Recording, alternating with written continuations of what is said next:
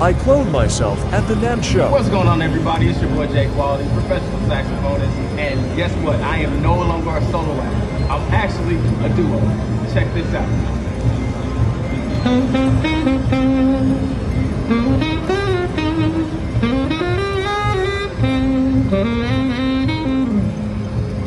See if you can finish that.